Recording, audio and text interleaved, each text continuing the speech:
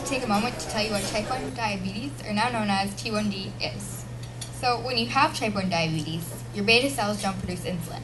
Insulin is what gets glucose into your system. No, glucose means your body can't function and your system will eventually shut down. But it isn't. I'm a sassy 13 year old first and type 1 diabetic second. My disease does not define me any more than my hair color does.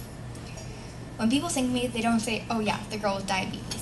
They're way more likely to say the girl with the smart mouth. Because yep, I am that girl. I do most things other girls my age do. I go shopping. According to my mom, I text too much. My, my favorite part of school is lunch. I stay up late and eat junk food with my friends while watching sappy romantic movies. Would be easier still, though, would be a cure. I dream of that day when I wake up, um, when me and millions of other diabetes, type 1 diabetics like me can just wake up in the morning and go. No more counting carbs, measuring food, always having to have needles, sugar, test strips, and so on with us. I also dream of the mansion I will live in with my beautiful and amazing chef husband.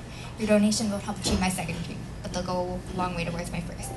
See, diabetes is an obstacle, but with, it, but with your help, we can overcome anything.